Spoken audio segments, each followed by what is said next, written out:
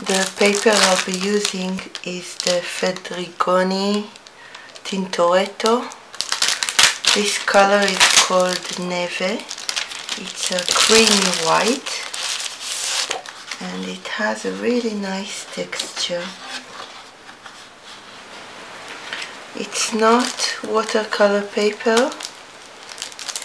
How much is it? It's 250 GSM. I bought it for printing, but it was silly of me not to notice that it's uncoated.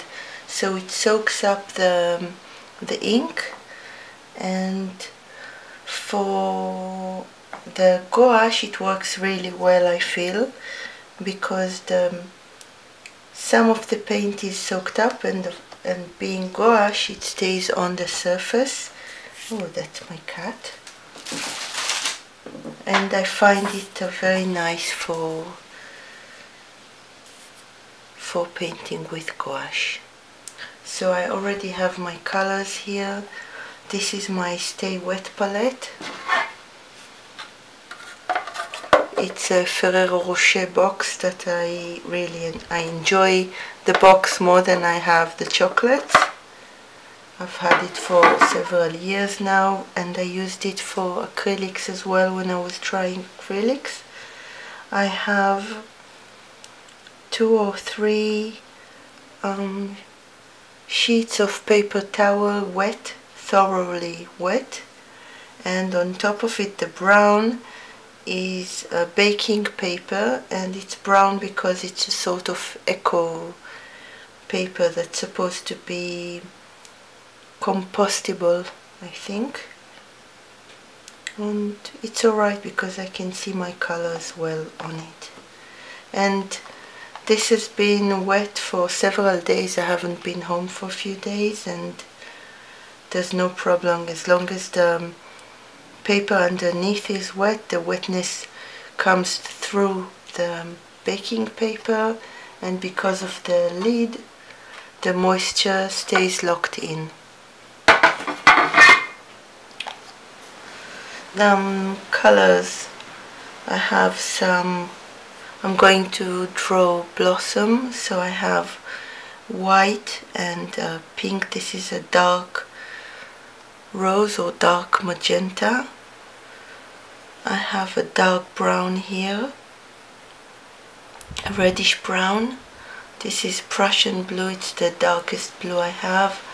I have some probably viridian green here and olive green, lemon yellow and yellow ochre, some purple. The brown mix I have here is with a bit of the purple and the dark blue and I'll be dirtying up the whites for the petals and this is a bit dry so I'll create um, a Bordeaux um, um, reddish brown pinkish mix for the stamen of the flowers. We'll do it later. Brushes I have four of them. I've already painted a few of these flowers and made some tests. So I found that I enjoy the Casaneo round for the petals because it doesn't when it's wet it doesn't have a very pointy edge and that allows me to make nice rounded petals. This funny one is um, a kiddie brush. This is plastic, I'm not sure what the hair is. I've used it for either glue or masking fluid and it's quite stiff and I've already cut it and this works well for the branches. Then I have this uh, synthetic bamboo. This is the white cloud I think it's called. And I really enjoy it for making elongated leaves. And this um, small number one round has quite a fine point when it's wet. And I'll use this to make the uh, thin stamen at the end. So these are my brushes. Have a towel here for um, the brushes I always enjoy using two water jars one for dirty water one for clean water. I like to have my paper on some cardboard so that the table underneath doesn't get as dirty and wet. And I don't have um, I can't feel the bumps in the table on the desk with the cardboard this is just the backing of a, a paper pad. Okay ready to go. This is going to be fairly minimalistic. I'm not looking at any photo or a real life object. It's not going to look realistic. It's my impression of it. Alright so we'll start with the petals. Wetting my brush but getting most of the water out. I, I'll need just a bit of water because I have fresh paint here. And I want to dirty up the, um, the pink and the white because otherwise it's just a bit too much. Too pure and it doesn't look as realistic for me.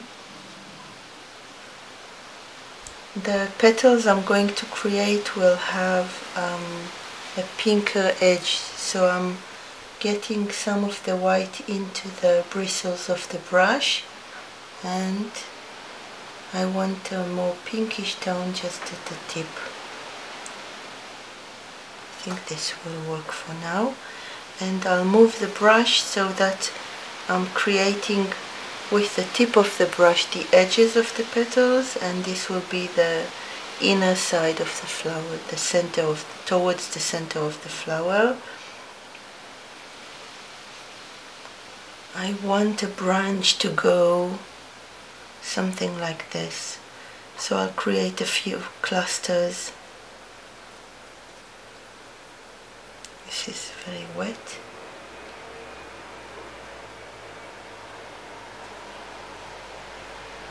I'm not too bothered about the shapes I'm getting here.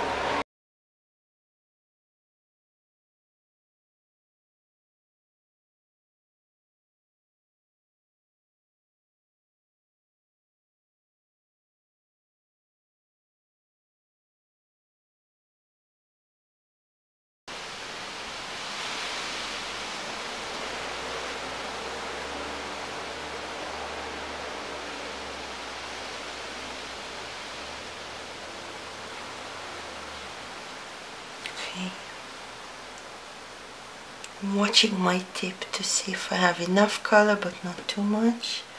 Now if we have a flower here, let's create one in the back. Maybe one that's pointing away from us. And another one here.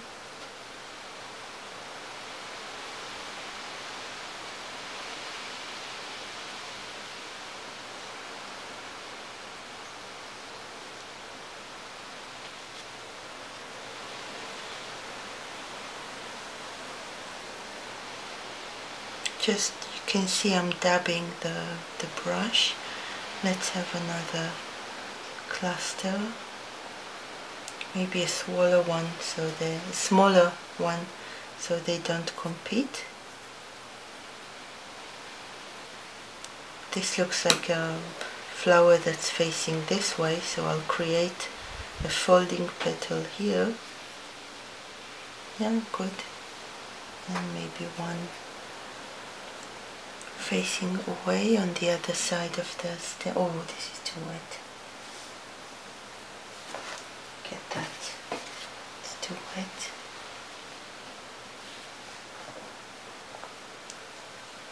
Some dirt. Some pink.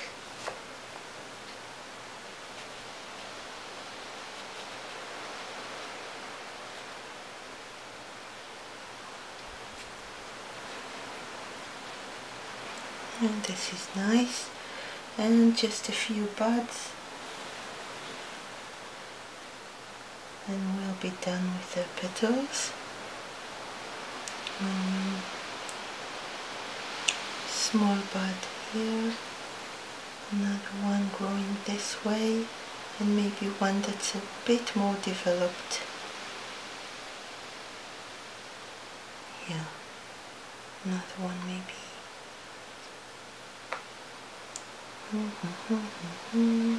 yeah I think this is good.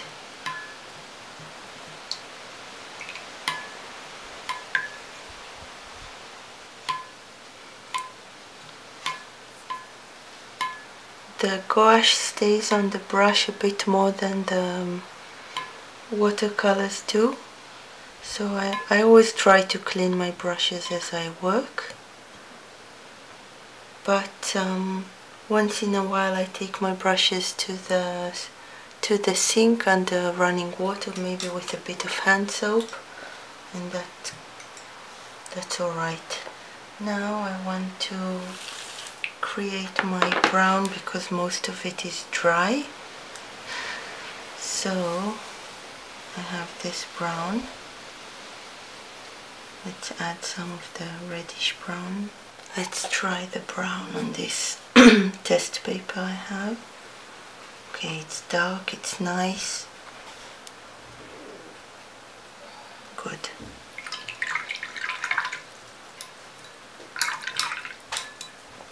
Okay.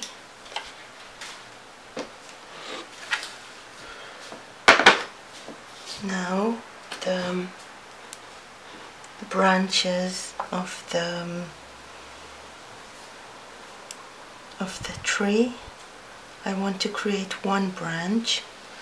It will come according to the shapes I have here. I think it will come from around here go down. It's going to be not rounded but sort of edges. So um not edges straight lines. Okay so one maybe a branch going here going down for these and up this way. And with this brush if the uh, paint is thicker I can sometimes get more of the um, strange lines of the brush. So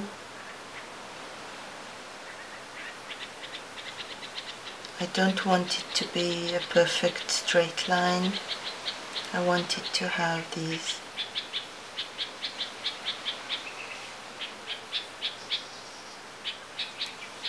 natural looking shapes and edges to it. This is going this way.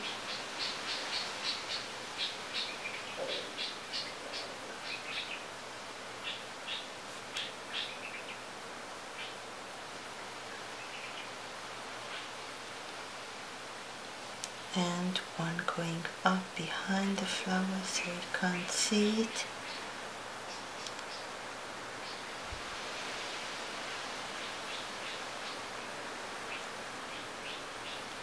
just a hint of a connection here. And the branch goes on. And tapers. And I want another branch. Maybe going upwards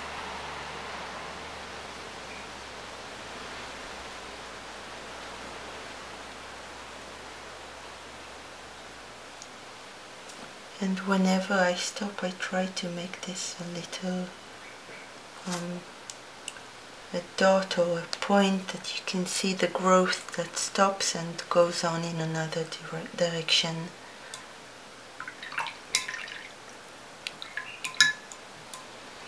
Okay, so this is enough for the branches.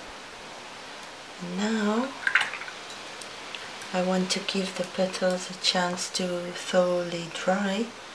So we'll do the leaves first.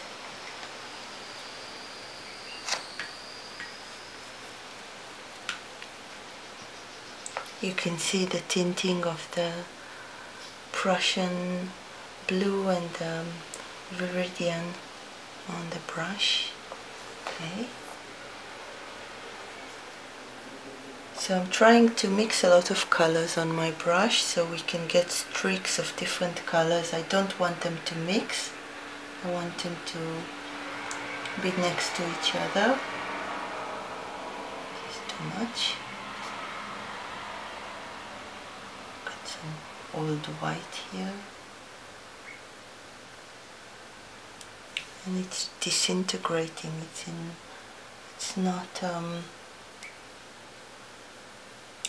looks like it's grainy but that's alright okay let's try this. Let's see what we have. I have a lot of the ochre here so I'll just try to dab other colors with it. Okay so um, almond leaves are elongated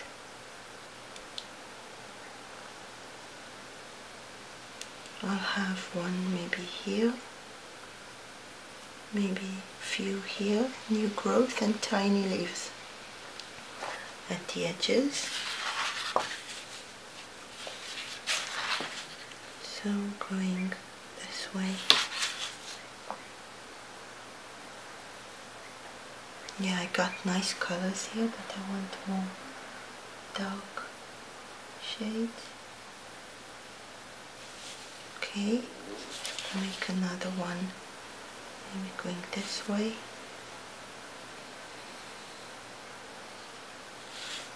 Okay I'm not happy with the shape of it. Looks like a folding leaf now that's alright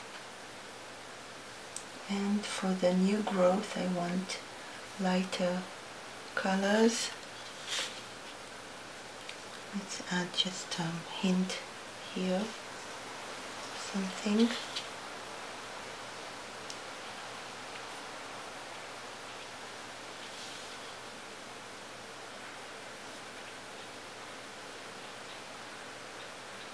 small leaf and the lighter one really baby, baby leaf.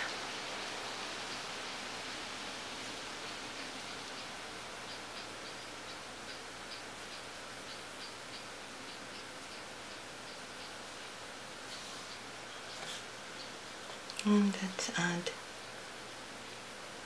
another one. Where will it point? Not this way, upwards.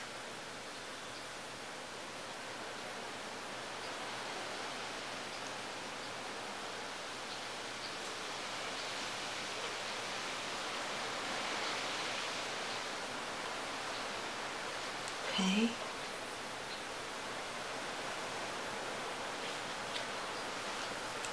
And I want to add another one here.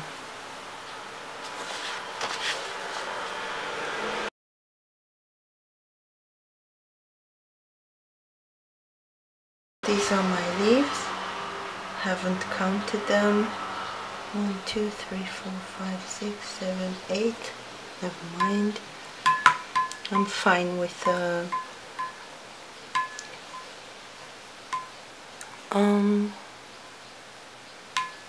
even numbers.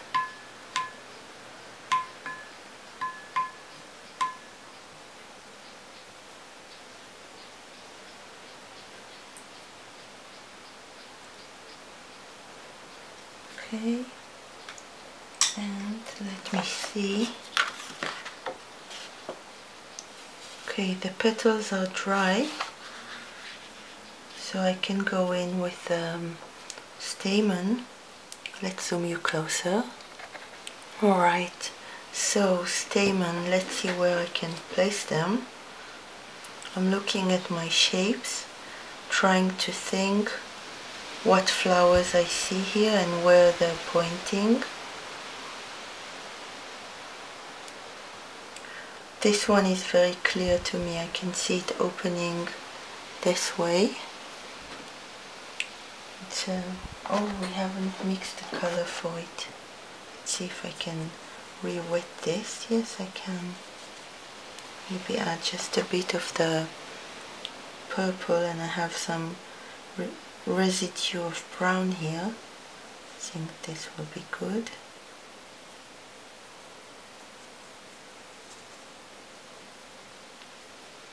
Let's try it.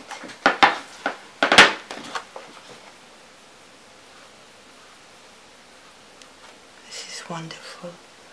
Just a hint of uh, of the pink.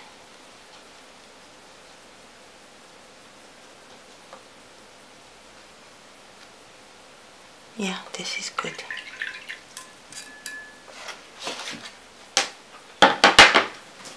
Okay so I'm drying my brush because with a small brush if I have a watery paint I get thicker strokes and I want them quite thin. Alright so here's a petal.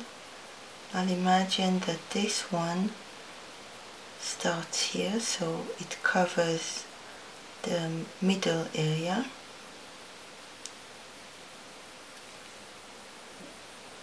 And I'm actually more comfortable drawing them towards me. We centered.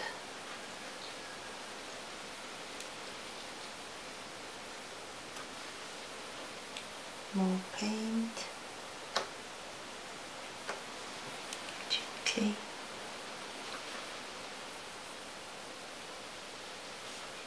And I'm just placing them to look quite random. Not a whole lot good enough. Now let's look for another flower. What's going on here?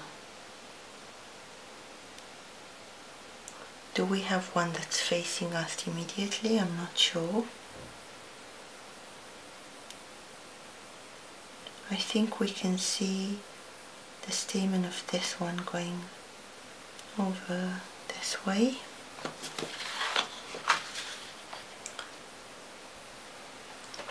So I'm trying to determine the shape of the petal in front that will be hiding them. Mm, wet enough.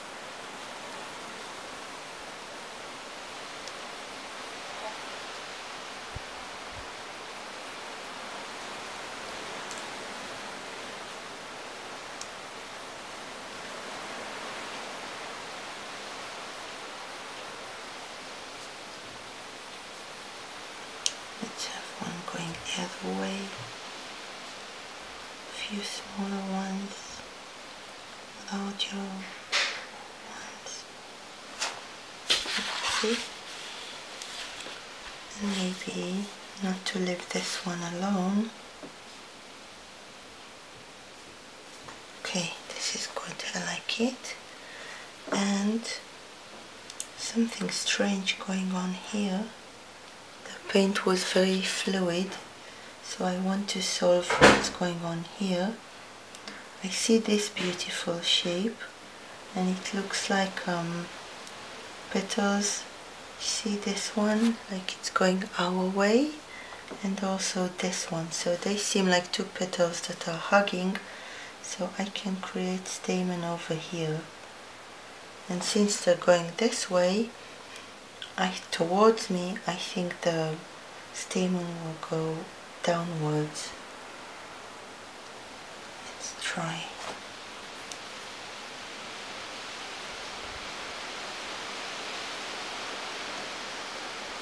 Not enough. White paint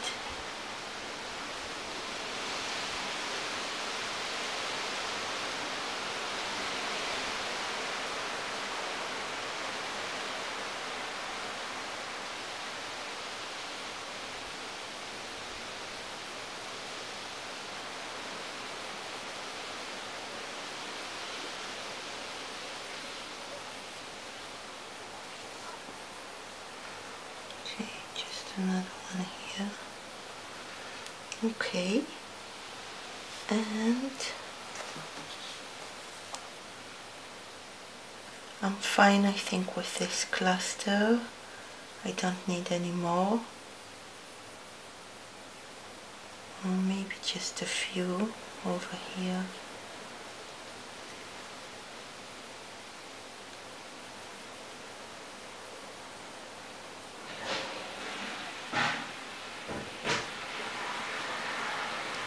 and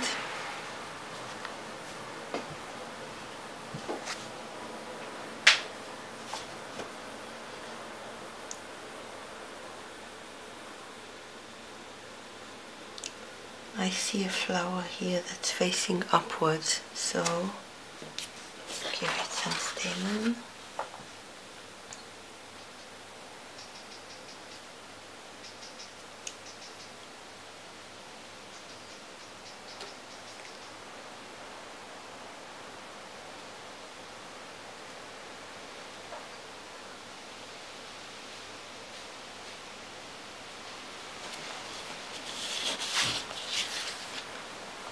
good. So it seems like it's hiding. Uh, and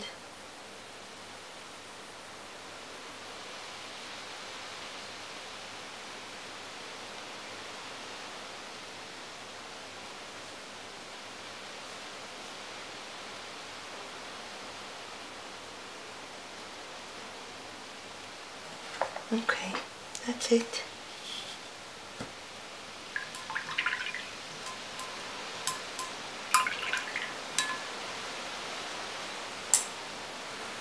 I'm done. I'll zoom you out so we can look at it. What do you think? Have you tried it with me? Quite easy and relaxing, don't you think?